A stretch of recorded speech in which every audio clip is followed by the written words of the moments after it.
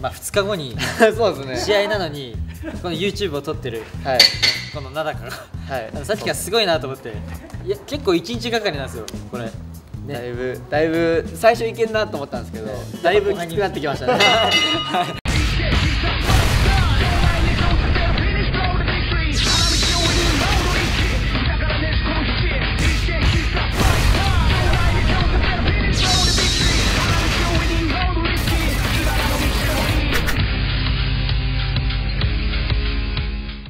さあ始まりました。石井生です。石井中です。ナイナイチャンネルです。お願いします。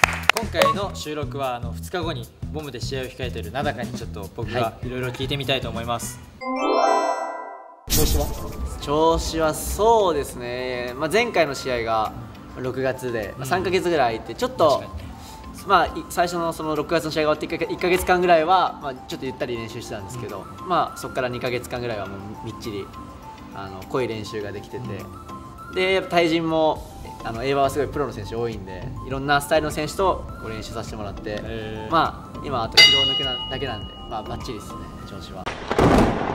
試合の相手のことをちょっと聞きたいんだけど、はい。はい。はい、次試合する選手がまあ佐藤佐藤選手という選手なんですけど、まあ、結構試合の動画とかを見るとあのパンチがある選手だなと思ってて結構パンチのタイミングとかも独特なリズムで、まあ、確かにパンチを打ってくるような選手だったのでその一発に気をつけながら自分のいつも通りのリズムのスタイルで、まあ、崩していければなと思ってます。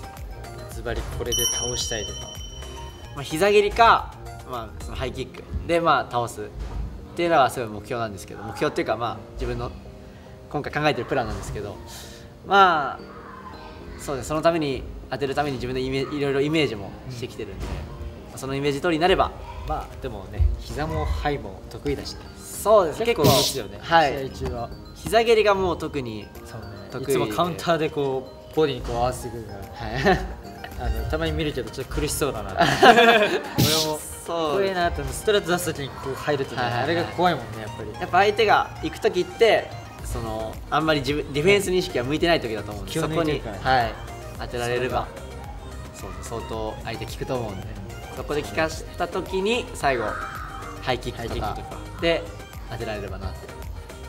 そうね狙えるとこがすごいですよね。いやいやいやちゃんと分かってるからそういうのも。一星君もめちゃくちゃ散らすじゃないですか攻撃。まあまあまあ。すごい。でもやっぱり試合するとねそれがどんどん意識がなくなって顔だけになったり。やっぱ相手が何か当たって例えば相手が顔面が効いたとしたら顔面だけになっちゃうっていうのが多いんですけど、まあ、どっか効いた時こそほここそもういろんなとこに攻撃散らさないとっていう意識はいつも持ってるんで今回もそうしていきたいですね。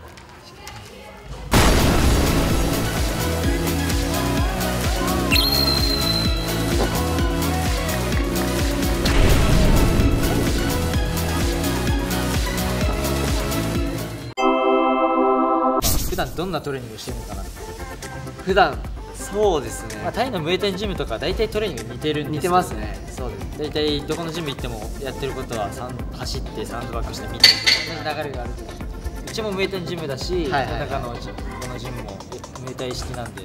そうです。大体同じです。もう来たらまず走る、まあそうそう走って縄跳び飛んででシャドウサンドバッグミットやってえっ、とまあ一緒に来てる時間帯の選手たちと対人練習してしてウィズもしてして。っていう感じなんです。これはまあ多分大体ムエタイジムも同じだと思うんですけど週1回あのそのムエタイのトレーニング以外にもフィジカルのトレーニングやってもらっててでそのトレーニングしてから今1年ぐらい経ったんですけど、まあ、だいぶ体つきが変わったのかな。確かにでかくなってるそうですよね。ちょっと体重もちょっと上がってきて。そうですね。少しずつですけど、まあ、体重は上げられてきてるんでその成果も見せたいですね次の試合でこうラットプルとかこうやってここの肩を大きくしたりとかあとはあの体幹のトレーニングをすごいやってもらっててあのバランスをと取りつつ負荷かけてってみたいなトレーニングをしててだいろんな体勢からでも強い攻撃が打てるようにあの今見てもらってます。フィジカルトレーニングでは。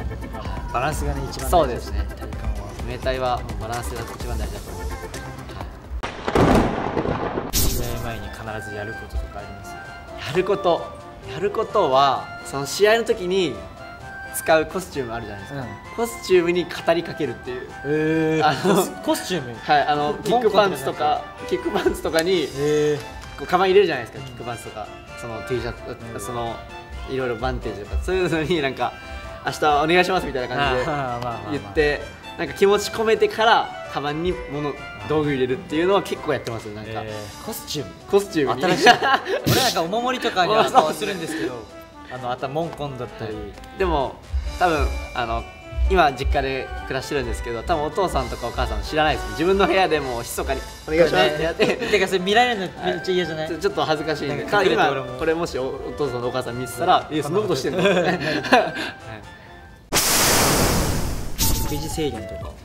食事制限そうですね。今回の試合が減量6キロぐらいあるんですけどまあ6キロの減量だったら大体2週間ぐらい2週間。で落とすんですけどもう最初普段58キロ、まあ、あるかないかぐらいの感じででもう本当いつもめっちゃ食べてる状態で58ぐらいなんですよ、なんでその最初の1週間で、まあ、食事を少し減らして間食とかあのよくない菓子パンとか食べちゃうんで、それ逆に食べないと落ちちゃうかはい。らいつも食べてるんですけど、まあ、そういうのをなくすともう追い込みの時期で練習もハードだし、まあ、3キロとかはすぐ落ちてくれるんで。じゃあ55ぐらいか。そうですね。そこからまああと3キロは、まあ、汗で水分出したりとかっていう感じですかね、へー。はい、絶対なんかこれは取るみたいな。あ栄養。フルーツですね。フルーツあ、はい。まあまあそれはね。フルーツはあとあの OS1 ってあるじゃないですか。OS1 で結構あれですよね、うん。飲んでる人多いですよね、うん格闘家の人で。減量終わった後。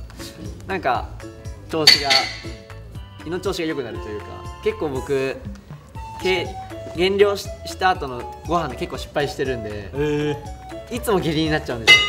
俺タイの時はめちゃくちゃ。あそうですよね。タイの時はね。はい。やっぱ時やっぱいろいろ環境とかご飯もやっぱ合わないから下痢になっちゃうこと多かったんですけどそういう OS とか飲んでフルーツとか取ってからこう胃を慣らしてからこう固形物を食べるっていうのをやってから、まあ、だいぶやるにつれて分かってきますよね、うん。減量のやり方とか。俺も雷神に出た時にあのレイナさんがはい。計量終わった福岡で会ってはいはいはいでで俺は計量終わった後すぐもうおかゆ食べたりはいはい。すぐこうしてたら、レイナさんは最後の方に計量終わってなんかもう相手に多分隙を見せたくないから、はい。終わってどう多分めちゃくちゃきついんだよレイナさんって減量。絶対にそのみんなの前で弱いとこ見せないから。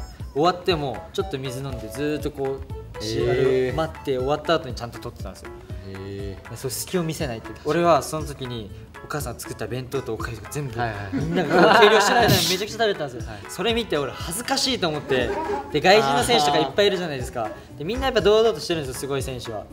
でそれであの水とかもゆっくり取るしそれ考えずに俺もめっちゃ取ってそれやった時にお父さんにちょっと食べるのやめよっかってなんか僕が気まずくなるぐらいみんなちゃんとこう気張ってこうしてるのに俺めちゃくちゃ食べてて恥ずかしくなってからあのそう計量を終えた後にあのゆっくりゆっくり取るようにしました。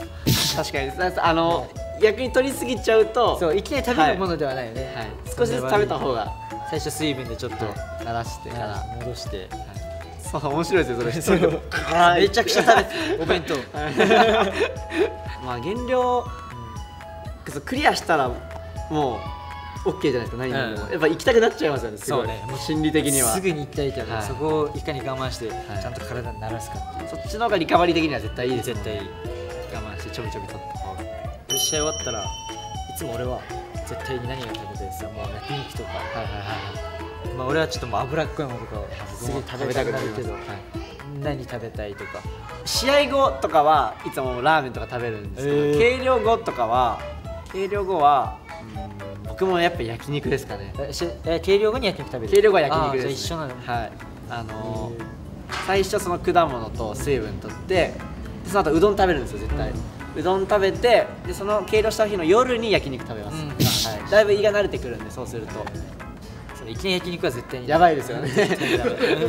もうもうもう。なんならなんか下痢になって試合計量の時よりも痩せちゃいそうな 結構やばいな、はいあの油。もう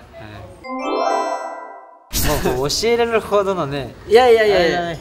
全然僕から見てもあの一星君本当に逆にめちゃくちゃ。こういうのがいいなって思うところがあれば。あそうです俺からなんか教えることはないな。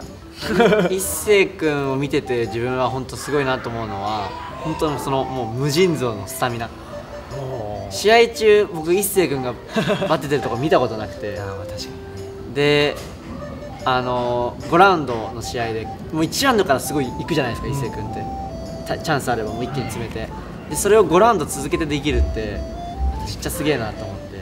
僕いつも行くとこだけパッて行ってそれが結構サボってることが多いんで。まあサボってるっていうかねちゃんと見てね。はい。だからそのスタミナをつけるためにこう気にしてやってる練習とかあるのかなと思って聞きたかったんですけど。が私は結構もう昔から古いからたなんか練習仕方とか、はいはいはい。もう根性論というか、はいはい。お父さんに体力きもうスタミナが切れたら終わりっていう、はいはい。もうやめろって言われるぐらいうちは厳しい。だから走りがもうすごい。週に2回走りがこ土日あるけど、はい。それもすごい過酷なはいはいはい。何キロぐらい？行くんですか10キロ。10キロと10キロ。12キロをまあ、タイムアタックなんでうわもうすごい速い。あ一周何キロみたいな？そうそう一周、まあ、福岡でいうと大堀公園っていう公園があって、はいはいはいそこは一周2キロで5周走る。うわでそれをみんなで10人ぐらいでタイムアタックあしてまあ俺は大体もう絶対あともう俺のジムは後輩しかいないから、はいはいはい。後輩に負けるわけが負けるわけにはいかないっていうもう意地で一個並ぶことはあっても絶対にちょっとでもさ足を出すみたいな。確かに確かに。だから一回負けたことなくて、はいはいはい。でもうちのジムの子みんな速い、はいはい結構速くて。でもなんだかも疲れてるとこ見たことないけど。いやいや。なんかそれなんかうまくサボって。サボってはい いやなんかその行くとこは行く。休むとこは休むでやってるからなんとか。あでも俺も要所者休んでるから。あ本当ですか？ということで、えー、と今日は名高のあの試合のはい。2日前のそうですね。名高にちょっとインタビューを聞いてみました、はい。ありがとうございました。ありがとうございます。まあ試合の2日前っていうことで、まあちょっとあの疲れというか疲労もあるんですけど、こうやって一星君と楽しくお話できて、まあ嬉しかったです。はい、ありがとうございまさす。て頑張って、はい今日も行くからはい、頑張ります。もう絶対勝つんで、はい、応援してますありがとうございます。じゃあということで以上「何々チャンネル」でしたチャンネル登録と高評価よろしくお願いします。最後までご視聴ありがとうございましたた。